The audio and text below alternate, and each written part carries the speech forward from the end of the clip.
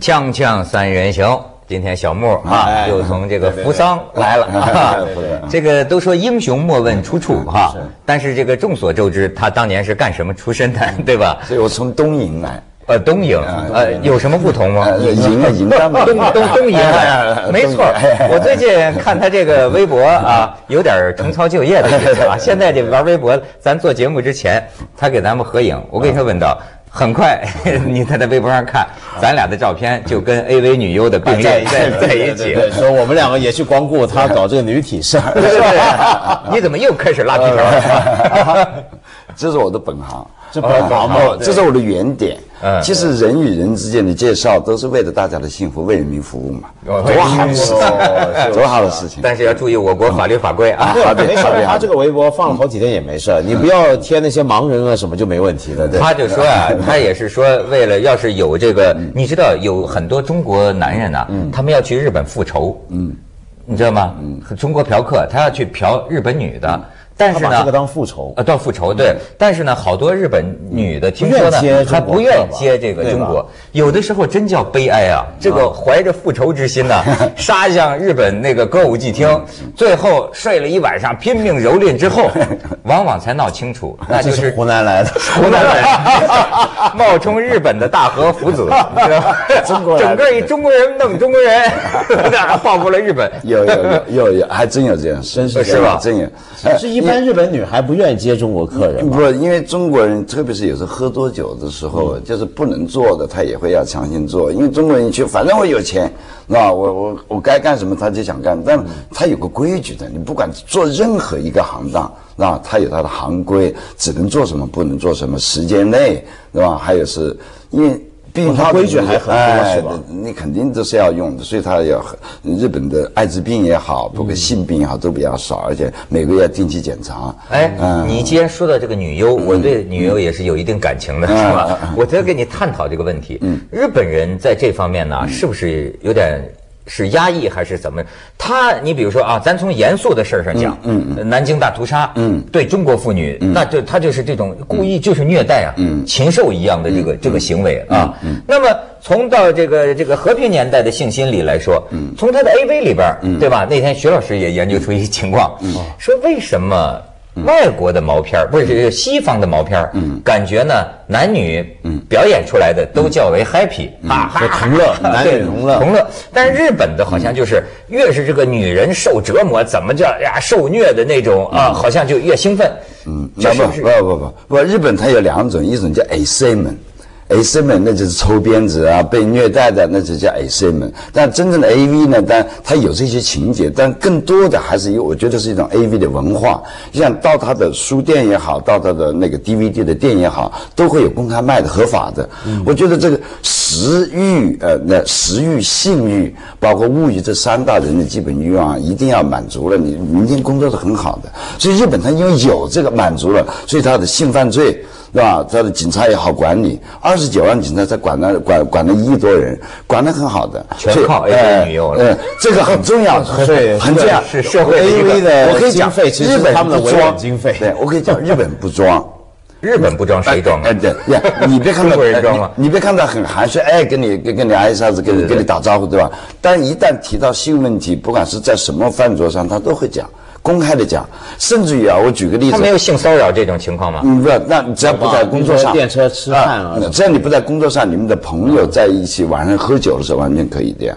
他他的那个歌舞伎町那个地方就是提供给你性骚扰的呀，性骚扰这两个字是禁止讲的，这个禁止讲。嗯，因为它是提供性性服务的地方嘛，那对吧？这分两种，哦，你的意思是说，妓院里面总不能投诉客人性骚扰？对对对原来是对，所以他禁止讲嘛。所以说就是说是嗯，性的服务有两种，一个是性的服务，还有一种陪酒，它都叫风俗营业，但是它不是，它它还是有区分的。所以呢，你就不知道，就是全世界的男人都一样啊，还是一个地区一个样？我想你过去不是你过去日本人给我们的一个印象，嗯我就包括他这个 A V 传递给我们一个印象，觉得日本男人跟跟女人搞的时候，非得要把女人好像弄弄疼了，弄弄弄弄弄弄弄得很受罪不是，他们才 happy 吗？不是不是，我觉得日本女孩子她自己也是在享受。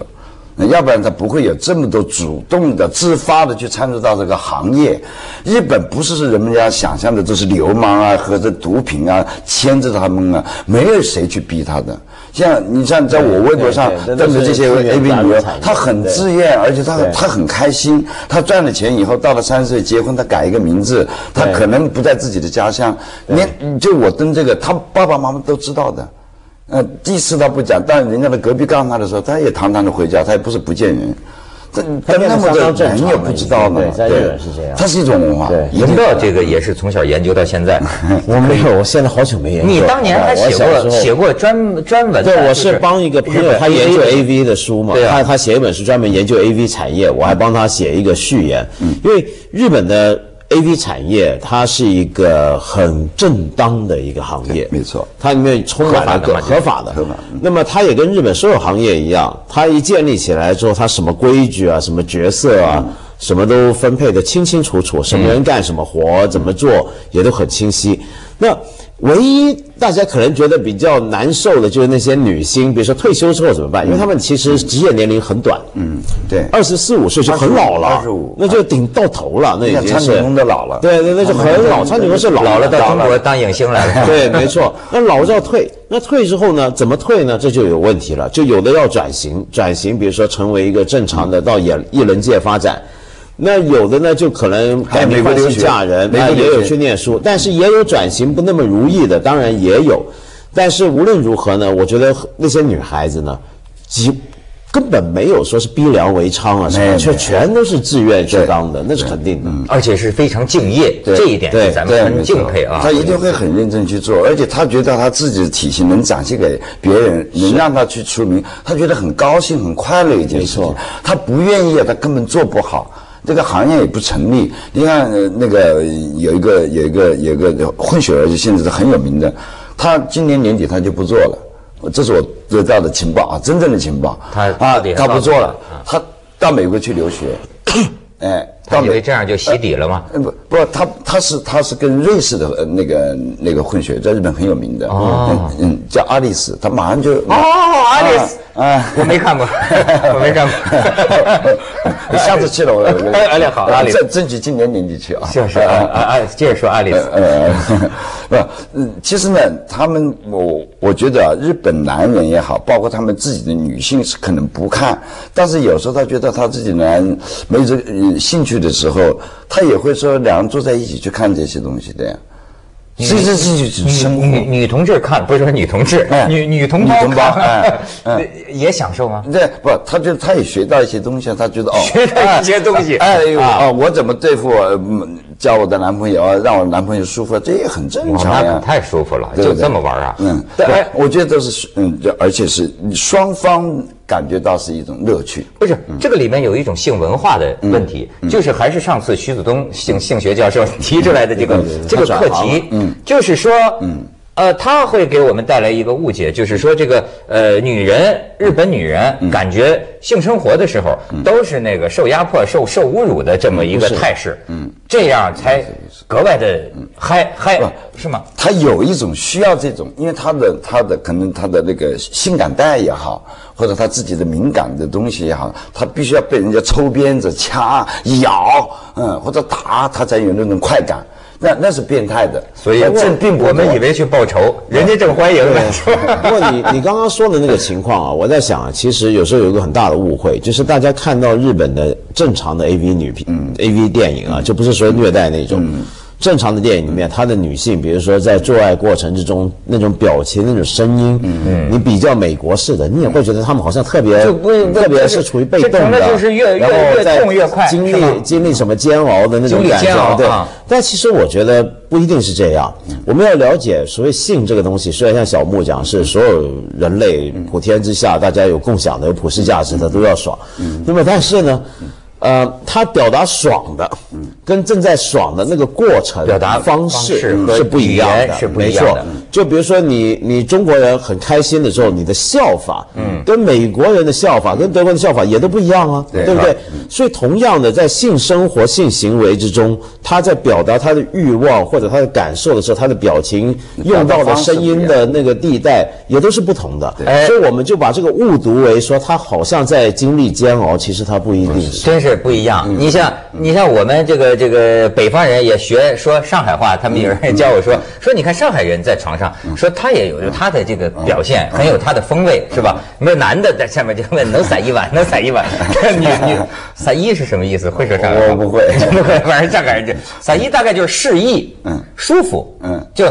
适适适合的适，是不是这意思？我得问徐子东才哎，对对，徐老师，你想象一下，来那个能撒一碗，能撒一碗。这个这个女女女女女女的怎么说呢？阿拉撒一啊，阿拉撒一啊，阿拉好撒一啊。锵锵三人行广告之后见，阿拉好撒一。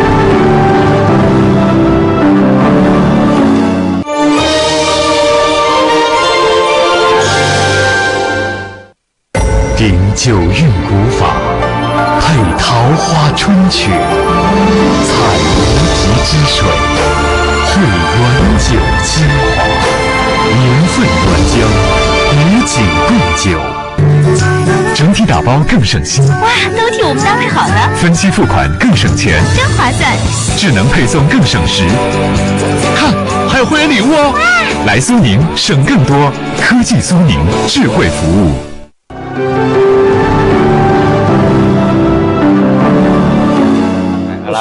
说聊沿海问题嘛，怎么烂 老撒一？对对对，这集 我觉得更好，是吧？因为这个他这个什么三三三三句话不离本行。对，我 我我难得来一次啊，没错。哎，而且呢，这个你确实觉得从这个性心理里，嗯，你能够观察出很多很多东西。嗯，比方说，为什么中国嫖客要到日本去复仇？复仇为什么就要干他们日本妓女？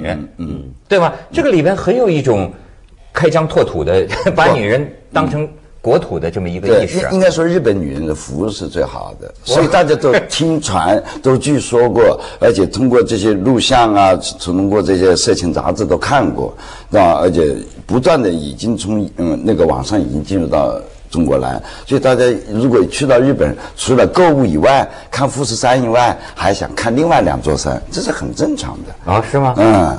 另外两个 啊，哎呀，我就不敏感了啊。不 是，不过我觉得有意思的是，你刚刚讲到为什么很多中国男人想去日本嫖啊？嗯，呃，这其实是历史上有一个我觉得很有趣的一个现象，就是很多时候性产业或者性行为这个东西是跟族裔跟有有一个种族问题在里面为首的。嗯，比如说我举个例子，以前呃。欧洲或者是土耳其，在他们强盛的时候，就土耳其帝国强盛的时候，他们后宫里面有时候会特别挑一些非洲的黑女人过去。嗯，那么呃，或者说在呃西班牙征服美洲的时候，他们会贴特别挑一些印第安女子。那么这里面都牵涉到就是一个权力的问题。就是说我今天是一个殖民帝国，那我殖民帝国的人来了之后，你们这边的人都在扮演不同的角色。那在这时候，所以它是一个很混杂的问题，它又牵涉种族，又牵涉性别。嗯，所以，呃，我们还看到另一个更有趣的现象，在美国这些国家，他们美国的历史之中一直有一种心理，他们就觉得黑人是最牛的。嗯，在性上面的表现，黑人男性，对不对？好像日本日本日本女日本女游客也好这口啊，对他们觉得黑人天生阳具很大，性能力很旺盛，然后精力充沛，体能又好。那么所以你看很多的美国的大众的文化或者以前的文学书写里面，包括欧洲也一样，他们对非洲黑人的理解就是把它定位在性上面。那你看起来这个心理很古怪，你知不知道？他表面上看好像是说，哎呀，黑人多牛啊，黑人多强，实际上是歧视。对，实际上是把它定位在你，因为你很接近野兽、畜生嘛。你对，你是畜生，畜生。对他认为黑人比较厉害的原因，我们先不讲客观上他到底是不是真的那么厉害，但心理上他包含一点，就觉得性这个东西是很动物的，是很本能的。于是人类之中最接近动物的那一种种族，那一个民族，他这方面当然就特别厉害。你看你说的这个，这种这种这种特别微妙的这种潜意识啊，我这这我昨天听一个画家跟我讲，他刚刚这去大英博物馆去看了很多这个这个这个素描，达芬奇画的素描，他就说这个纸啊，你知道。中国古代绘画的这个纸啊，像那个什么什么南唐后主李煜做什么诚心堂纸，这个纸啊不不就就是怎么样能让它好，就不是这个水太容易阴了的话呀，它其实上面还要涂一层，嗯，涂什么？嗯，涂什么？你看，在中国呢，涂的是一种叫做高岭土的东西，就是做陶瓷的那么涂就土。那么他们原来也以为呢。其实外国也涂，它这个对纸都要做做做做做处理，或者在油画布上做处理，它涂东西。他们原原来也认为涂的是土，对吧？但是这次好像英国的专家告诉他啊，不是，说是使用了一种呃骨动物的那种骨头的骨粉，骨粉又加上了一些胶合，又加上了一些什么啊？呃，涂涂涂上去的。但是你看他给我描述这个事儿，又一说，他说那当然了，因为他们是动物嘛，那西方人毕竟是野蛮人，那么中中国人。肯定就是陶瓷用土，中国人是天然的，是土得的啊！你看西方人，他们肯定这是完全合逻辑的，他们当然就是用动物的骨粉，因为他们就离动物不远。你 你看，他就是这种就很微妙的这种潜意识，你很快就会出现了。所以，但是实际上这个说法有点误区了，就是因为你比如说像意大利，特别是威尼斯地带，它出的那种大理石纸。啊，那个纸它涂的那层粉其实也是来自土，来自石头，不一定都是用骨头。那那那，我觉得这种讲法有点不靠谱啊。你比如说我们现在吃的东西里面，嗯，我们有时候一些色素，红色的那个其实是胭脂虫红嘛，嗯，那是虫啊，嗯，虫子提炼出来的红啊，我们天天都在吃啊，嗯，对不对？所以你这么讲话，我们人是不是全世界所有人类其实都跟动物很接近？因为我们连吃动物身上的红色素进身体里面，而且是虫子。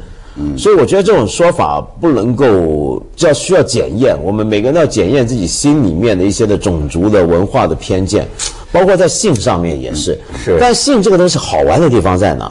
就往往性快感，嗯，它是要建，它是不理性的，嗯，它恰恰是要建立在很多的偏见，嗯，很多的。潜意识上面的动力，没错，所以我就能理解啊，就是他说的这个日本人不装，嗯，就体现在哪儿？其实挺牛的，你知道吗？嗯，西方人都有点装。老实说啊，就是日本人在关于人的本能欲望的这个宣泄这方面，他还是个承认的态度。嗯，因为这个啊，我们不能不看到人性里头有阴有黑暗面。当然，你不能说那是黑暗的，因为我们有一半是动物。嗯，你知道吗？动物啊。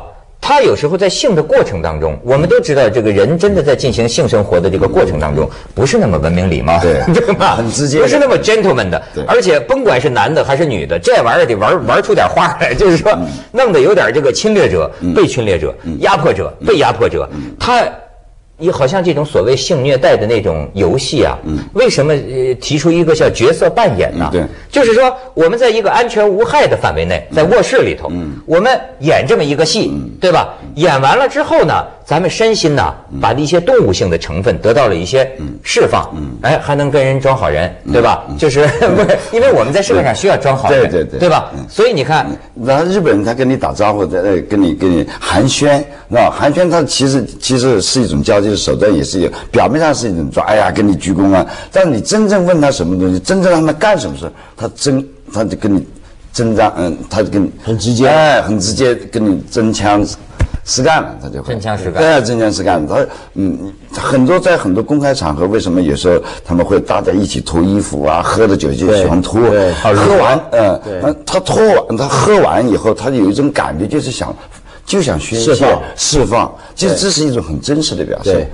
所以呢，你看他们也是野蛮人，都是动物。对对，他离野蛮人也不远，对吧？锵锵三人行，广告之后见。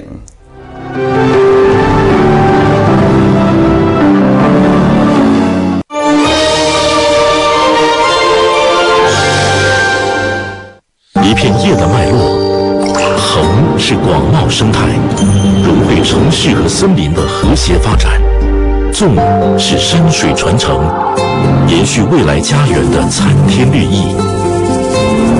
从南国林改到北疆治沙，解读科技与自然的相处之道，寻访大地耕耘的梦想。北京现代大地寻梦，星期六凤凰卫视中文台。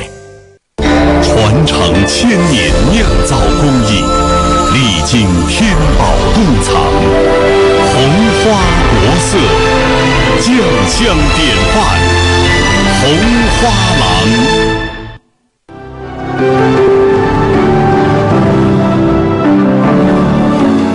小木，你刚刚说日本人的那种发泄方式，比如说喝醉了就脱。我注意一个现象，我觉得很特别，因为我刚刚不是说每个文化里面，比如说你性爱过程中怎么样表达感觉，都会有文化差异嘛。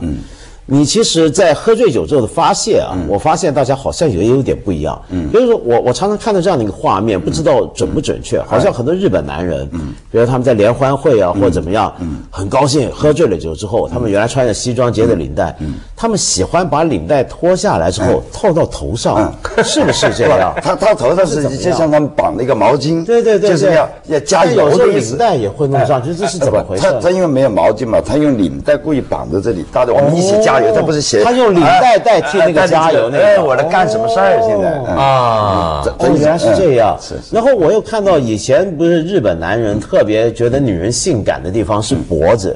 跟肩膀的，现在还是这样，还是一样。他穿的和服，为什么把这个领子露出来？就是要露这个地方。他不是看到全身肉体，他是看到后脖子，就是后侧面这个后颈这一段白。我也是最迷这个，不是，没有没有，这普天同庆，不是普天同庆，人人同此心，人同此心。他他那个脖子露出来，他是这个做这个领子很难做的，所以脖子长得好的或者稍微长一点的、白一点的，这个是最适合穿这个和服。但在现在还是这样吗？就比如说现在一般也不会说老穿和服。那日本人是仍然觉得这个看穿和服的性感女人就是看脖子，但是不穿和服，比如说现在一般日本女性，嗯，就我想现代人是不是仍然觉得这是一个性感的？当然是。你看他很多重的，那结婚必须穿的。嗯，那就像中国现在的女的要穿旗袍一样的，嗯，是吧？一定要穿，一定有一道一定要穿和服，过年要穿，是吧？夏天到外面去看焰火也穿，但那不是那种，就是那种有高在这像浴衣浴衣一样的那种形式。所以他知道是节假日，包括他们的一些一些一些一些各种灯会啊什么都会穿的，因为这他一定保持的非常好。那反过来有没有说男人什么地方是最值得注意的呢？屁股。他们就喜欢光屁股，不不，男人屁股越小越好，应该是怎么回事？因为三角形是这样看的。他们说的女人是这样的嘛？说他们有一个，我我听我那有些朋友说，说日本人别的场合裸呀，他都能接受。他觉得他不能接受的是他们在电视节目上。嗯，他说还曾经见过高仓健，嗯，就一帮人呐，就这么玩啊，那种电视综艺娱乐节目，玩完了就脱光屁股，就是在电视上。可以可以可以。呃，电视上只要十二点以后深夜的节目都可以的呀。说还有什么议员，甚至是啊，你经常能看到的，经常能看到的，嗯，因为。所以有一个极品星业的一个艺艺人，在海南岛录他录节目的时候，因为脱了衣服被中国人很多人反抗嘛。但在日本大街上很正常，是文化差异。啊，文化差异。他并不是一种下流，他也不是把它理解成就是一种释放，他这叫坦诚相对，对吧？那也是他的表达，对。他的一种中国人民坦诚相对，没错没错，是这个意思。就像 A V，接着下来为您播出《西安楼冠文明启示录》，没错，表达，你不能把它。完全的就是下流和下三流。对对对。